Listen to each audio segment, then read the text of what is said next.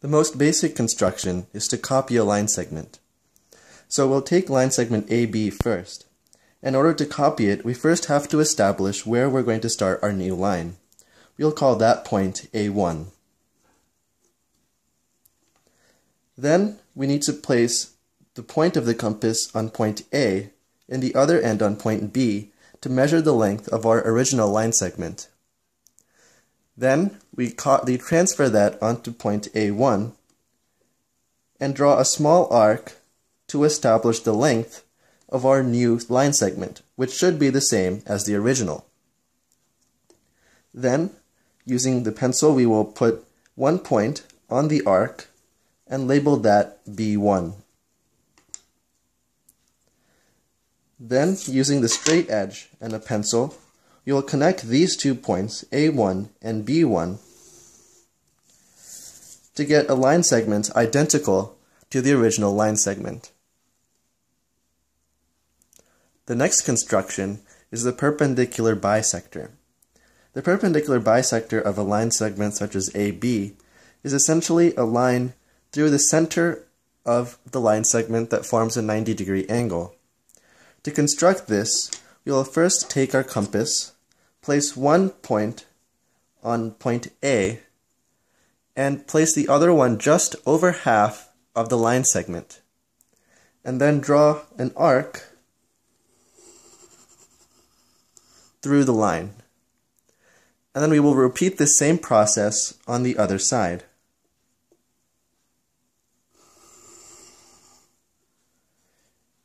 The intersection of these two arcs gives us two points. We'll call these points A1 and B1. Then using our straight edge, we can connect these two points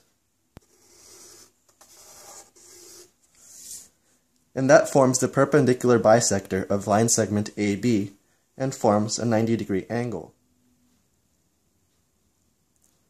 The next construction is pretty similar to the last one, with a few minor adjustments. This one is the perpendicular at a point on a line. So we have our line with a point A1.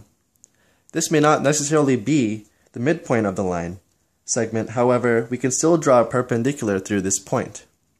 To do so, we will put the tip of the compass on point A1 and draw an arc on either side of A through the line segment of equal length.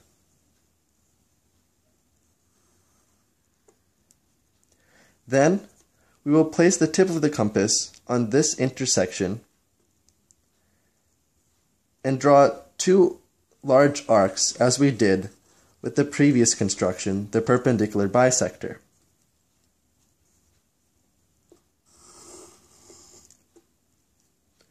Again, the intersection of these two lines gives us two points, which we can label as A and B.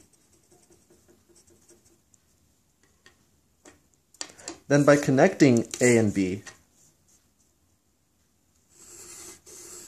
we form a perpendicular line through our original line at point A. A slight variation to the last construction. This one is the perpendicular to a line at a point not on the line. That point is point A, and we have our line here. To construct a, a perpendicular through point A through the line, we need to first place the tip of the compass on point A and place the other end more than the distance of the line. Then we will draw two arcs intersecting our line from point A. This gives us two points where these lines intersect that we can call C and B. Then placing the compass on point C and slightly extending the other end, we can draw two arcs from points B and C. This point of intersection we can call point D. Then using our straight edge, we can connect points A and D to form a perpendicular to a line at a point not on the line.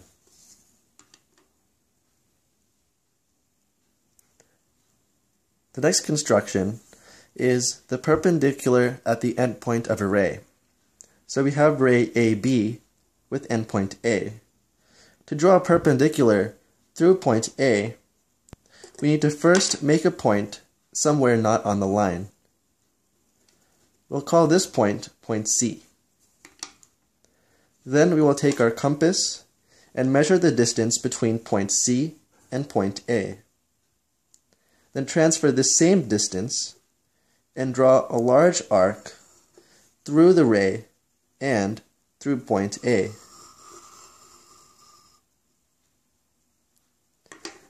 Then we will label this point of intersection between the arc and the ray as point D. Then using the straight edge, we will connect points C and D all the way to the circle.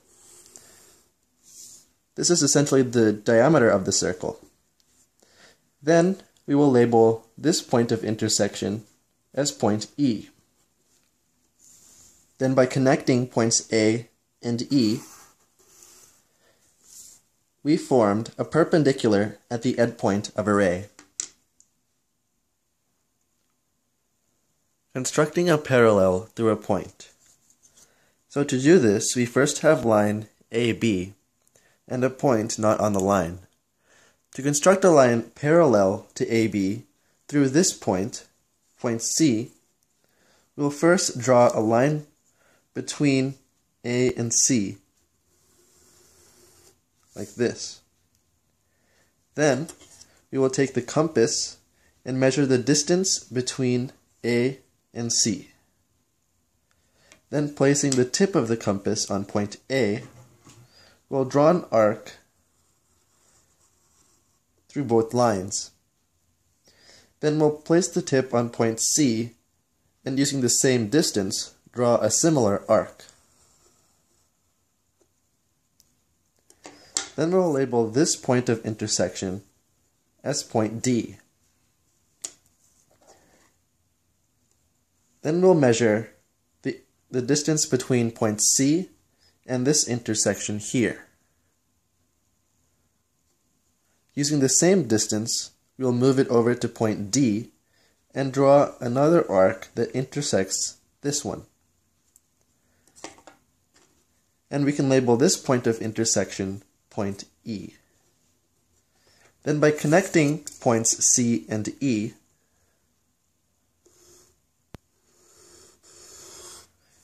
we've made two parallel lines a, B, and CE.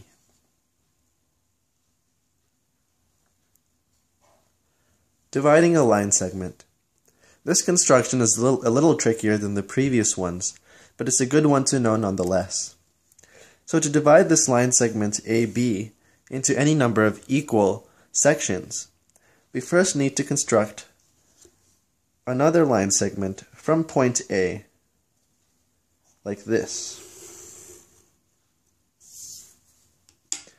Then using a compass, we need to build four equal arc lengths along this segment if we want to make four divisions. If you want to make three, you can just make three arcs along this line.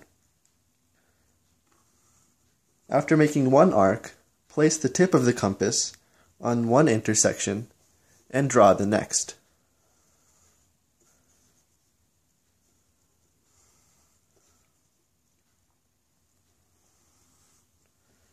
So I've used four arcs for this example, meaning I will divide this line segment into four equal pieces.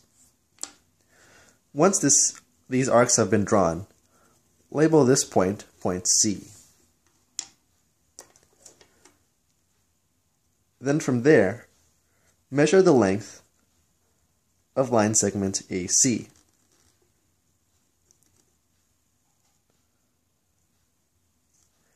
Then, put the point of the compass on point B, and using the same distance, draw an arc. Then use the compass to measure the distance between C and B. Then transfer the tip of the compass to point A and draw an arc that intersects the previous arc we drew. Then label this point point D. Then using a straight edge, connect points D and B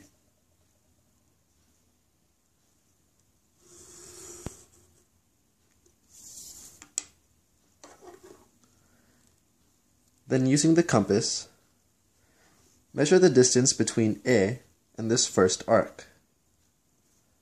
Then place the tip of the compass on point D and make four arcs again on line segment DB.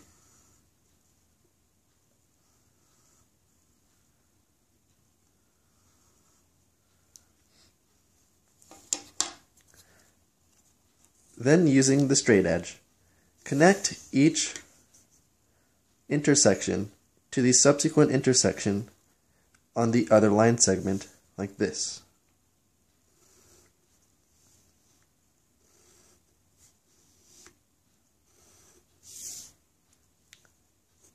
This has divided the line into four equal segments.